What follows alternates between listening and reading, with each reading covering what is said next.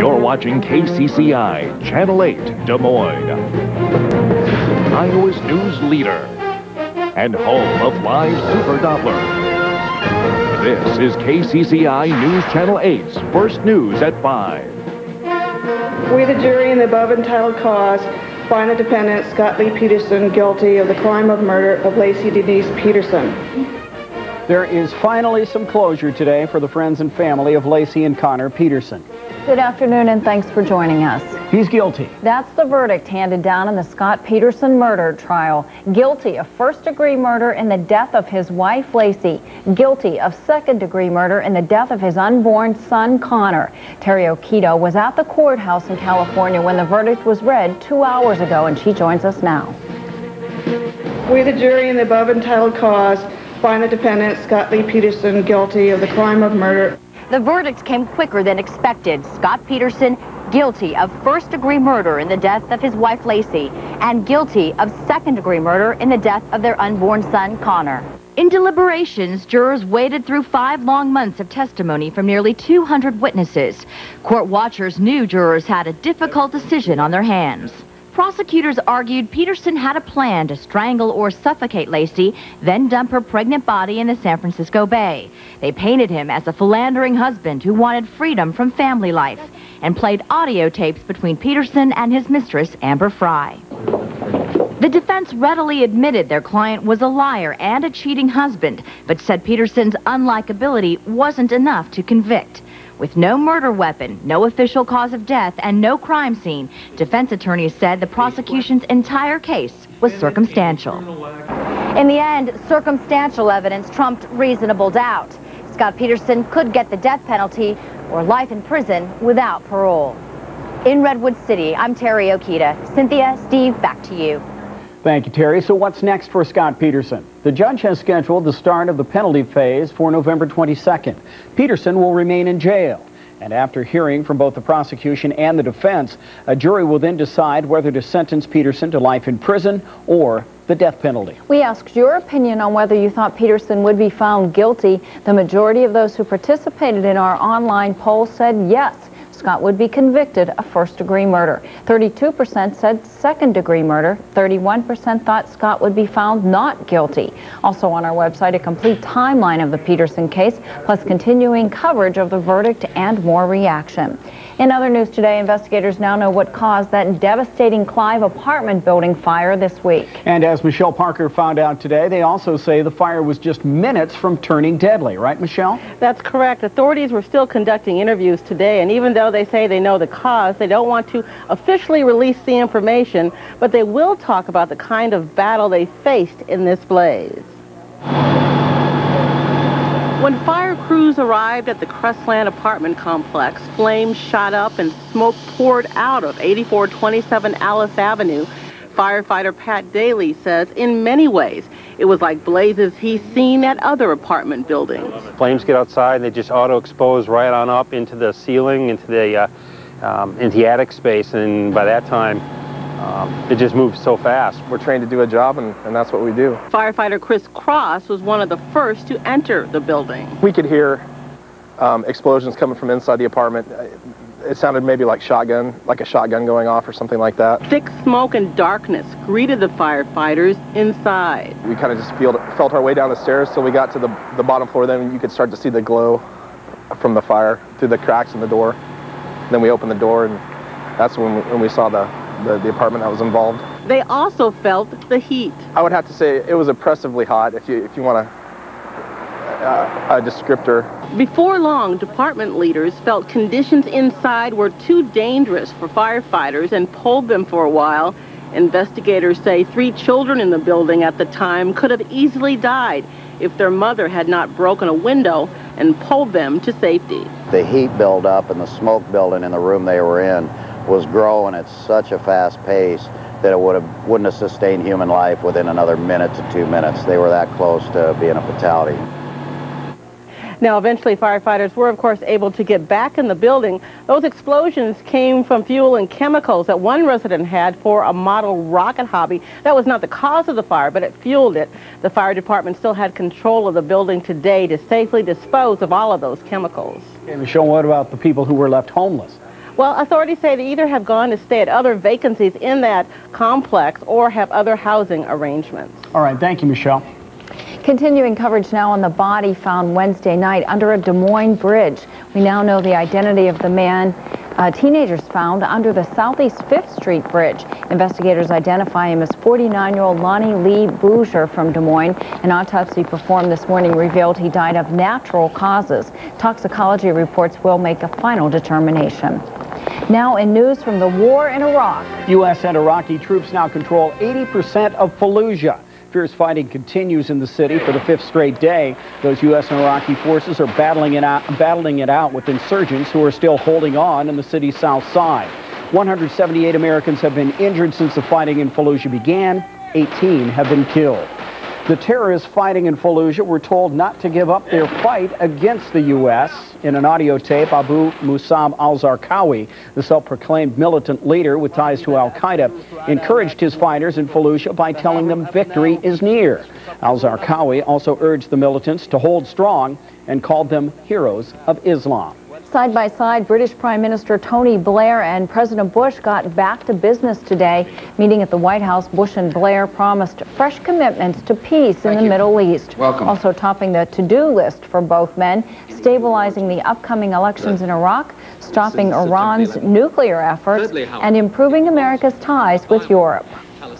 We meet at a, at a crucial time where it is important that we revitalize and reinvigorate the search for a genuine, lasting, and just peace in the Middle East.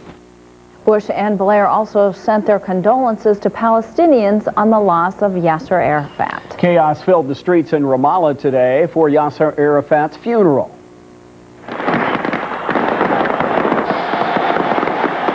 As you can see, tens of thousands of Palestinians waved waved, cheered, and fired guns in the air in honor of their former leader.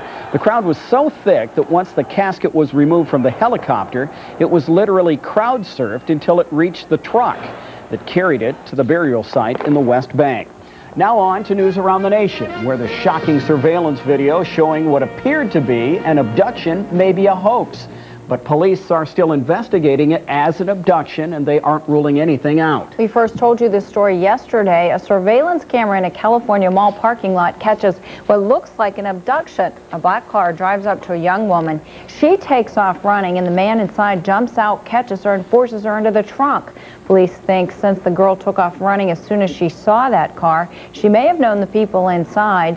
No missing persons report has been filed. A California sixth grader has learned that stop indeed means stop. School officials suspended the 11-year-old after teachers told her to stop doing cartwheels, handstands, and other stunts during recess. They say they were just concerned she might hurt herself. The girl, who was recently named Student of the Month, returns to class on Monday. Speaking of sports, we've got some very important games going on right now here in the state of Iowa. That's right. It's Friday. We do. It's state football playoff time, and Mark Meisenheimer is live at the Unidome in Cedar Falls with an update. Mark? Yes, I am, guys. And earlier today, it was the Class A semifinals. Good news, bad news. Here's North Mahaska beat Northwood Kensett 21 to 17, so we get a win from the local team there. But West Bend Mallard all over undefeated Madrid by a score of 39 to 6. So the Tigers season ends. Their quarterback injured in that game. Clint Gyrus will have highlights of that coming up at 6 o'clock, extensive highlights and reaction. And as you had mentioned, Valley playing Ankeny right now. The score is 7 to 3 Valley in the second quarter. Zach Sandvig scoring a touchdown run in the first quarter. Ankeny answering with the field goal. Highlights at 6 and 10 and all that good stuff. But for now, let's go back to Des Moines. All right, lots of good stuff. We'll look for you then. Thanks, Mark. Okay, we have to turn things over to meteorologist Curtis Gertz, who's going to tell us about a little bit of cool sunshine out there today, Curtis. Yeah, it was a, it was a bit chilly at times, but when you factor in the beautiful sunshine and the light winds, it was a comfortable fall afternoon. The night's still another chilly one, a bright and sunny Saturday, and your nice weather, guess what? It's going to last right through the weekend. We'll have all the details, five-day forecast, in complete detail, I guess, coming up just a little bit. Complete detail. All right, thank you, Curtis. Well, it's only the second week of November already. Time is mm -hmm. flying, though, but the Toys for Tots season is well underway. And that's very important. Today, the firefighters from Des Moines Fire Station number five dropped off just some of the toys that they have collected so far. Remember, folks, you can drop off your donations at any of the 10 Des Moines fire stations all over town. We're working hard on Toys for Tots. You might have heard of the soda that tastes like turkey, mashed potatoes, and green bean casserole. Well, we wanted to know what it really tastes like. I'm Eric Hansen. We'll have some of the most finicky palates in the state try it out tonight. And in case you missed it, at the top of our news, Scott Peterson has been found guilty of murdering his wife Laci and their unborn son. There's more to come on First News at 5. You're watching KCCI News Channel 8's First News at 5, Iowa's news leader.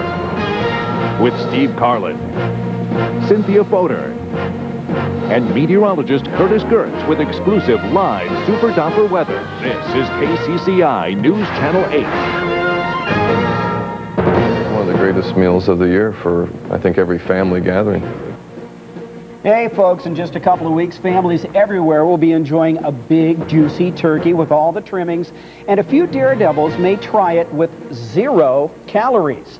Now, earlier this week, we told you about a new way to taste Thanksgiving without having to spend a whole lot of time in a place like this, the kitchen. It's very quick. It's all right here, but beware. Some say it's gross. Look at the color of that. It's green bean casserole. News Channel 8's Eric Hansen headed to the store and picked up some of this. What is this? Well, Stephen Cynthia, it's pop. And as you can see over in the stove today, it is pop flavored like turkey, mashed potatoes, green beans, fruitcake, and cranberry. And we just had to try it out. Mm. Turkey dinner should come from cupboards, not bottles. But the new five-pack of holiday flavors is too tempting to pass. So we bought a box and convinced the top tasters at Des Moines' top restaurant to try. 40 floors above the city in the classy Embassy Club. Looking forward to it may be a, may be a stretch. First is mashed potato and butter soda. The smell? It's not appetizing on the nose to me at all. And the taste. Just watch his face. Dump bucket? Oh, that's... I swallowed it. Imagine taking a big gulp of water swimming in your lo local pond. That's, that's, a, that's a foul concoction. Is, I think the mashed potato is so overwhelmingly not good. How about the turkey and gravy soda? The fine aroma of the of the gravy coming off of it. One gulp of the milky brown liquid, and the head chef nearly gags.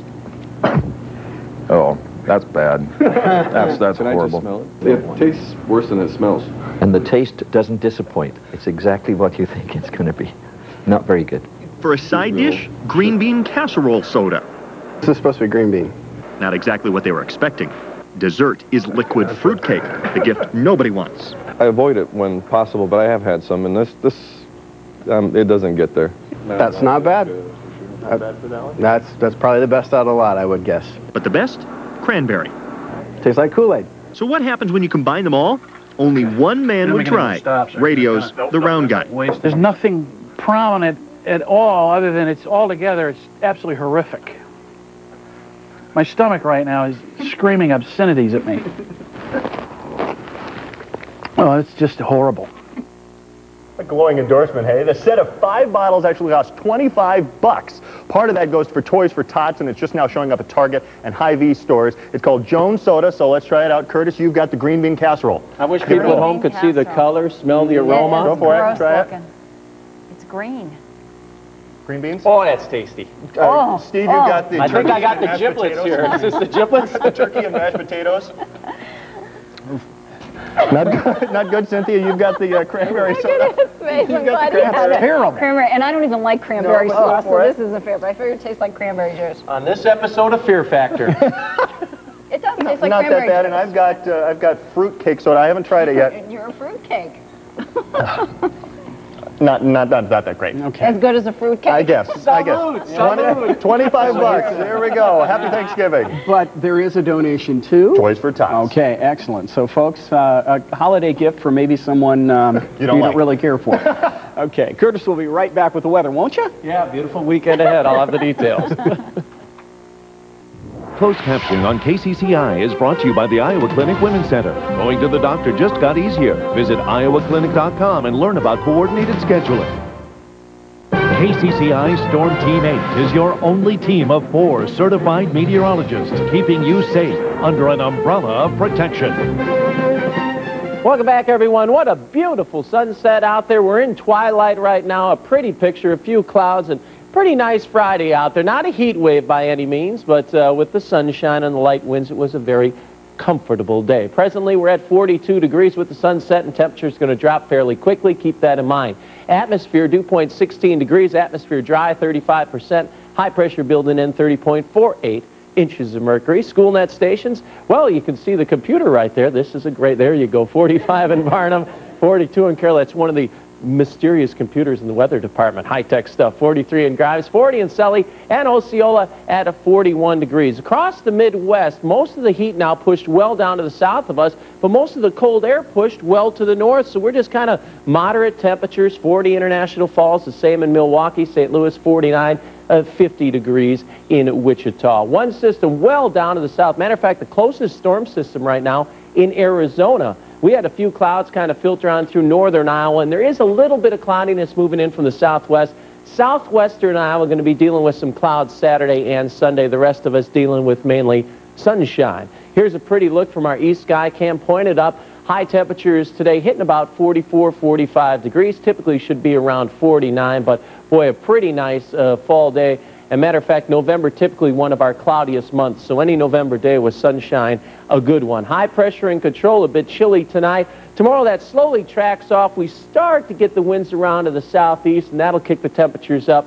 It looks to be a very nice Saturday indeed. Not as warm as the last one, but still a pleasant one. Generally clear skies overnight, lows dropping down into the 20s, northern Iowa into the teens. Then as we move through Saturday, Saturday afternoon, mostly sunny skies. We'll start to see clouds increasing on Sunday, especially to the west, but a dry weekend ahead. Forecast lows for tonight, 23 degrees, mostly clear skies.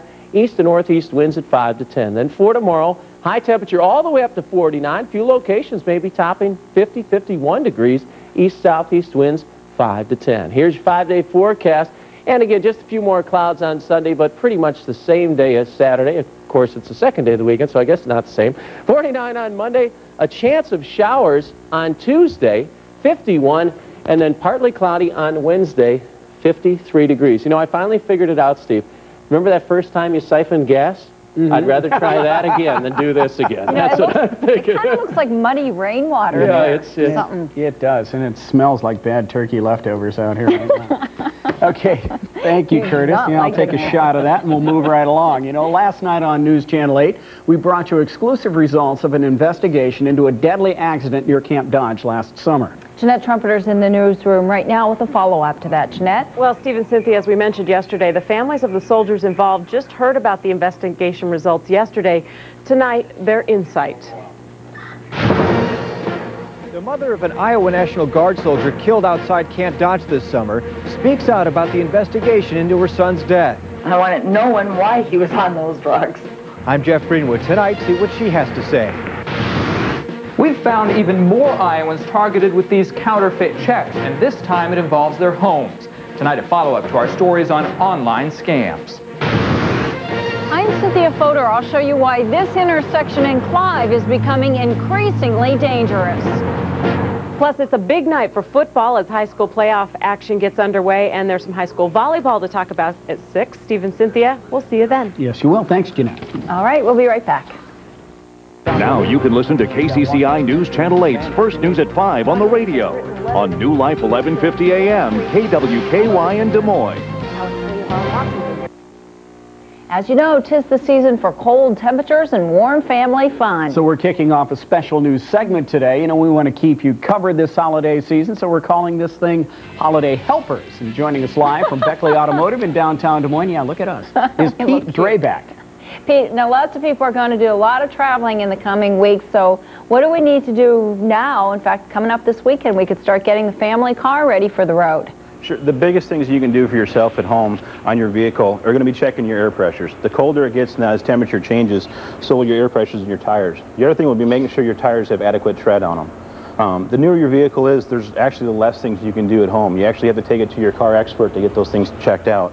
Like this model itself, the battery on this car is in the trunk, so there's no way for you to check the cables or anything on your own. You have to take it to your service center and have that taken care of. Um, other than checking your, your fluids in your car, making sure that your antifreeze is full, your belt systems are in good shape, no cracking or, or chipping with them. A big thing people overlook are wiper blades. Wiper blades should be replaced at least once a year. Um, that's something a lot of people overlook. Even though it might not be torn, it's rubber's porous. It does dry, crack, and eventually does split. Those are just some small, and, and headlights are another thing. Those are just some small things you can do on your own. Um, like I said, the newer the vehicle, you really need to take it into your expert to get that taken care of, because it's more than you can do by yourself. Okay, uh, Pete, what about oil? Uh, Do we go to a different weight this time of year? What do we do? Most of your automotive manufacturers have weights that are set for all climates. Like this vehicle using a 5W30 in it, it's an all-season oil. You should use it all year round. Um, your, the people that take care of your oil changes and your, your uh, automotive specialists or your dealerships will keep the proper oil in your car for you at all times. And don't forget, I guess, about the windshield washer fluid and the little things like that, huh? That's correct. All right, well, I, my service light's been coming on, so I'm going to be bringing my car over there to you guys real Give soon. us a call down at Beckley. We'll be happy to take care of it. that's not a good thing, huh? Yep. Thanks. Pete Drabeck, thanks for joining us today. You're welcome. Thank you. We appreciate it. Be sure to check out the iowachannel.com and click on the weather tab for details on emergency weather information and a weather travel survivor survival kit. Say that also- 10 times. That's hard to say. You can also sign up to have school closings and dismissals emailed directly to you every day. And be sure to tune in for our Holiday Helpers segment on First News at 5 next Friday. Yes, when we tell you about two unique ways to cook the holiday turkey. One involves a whole, involves a whole bunch of peanut butter in the turkey. No way. In the stuffing. Be sure to watch next Friday. You'll find out. For up-to-the-minute weather information day or night, call the live Super Doppler 8 Network forecast at 247-8880. Sponsored by Touchstone Energy Cooperatives of Iowa. Today's market report is sponsored by the Des Moines office of A.G. Edwards & Sons.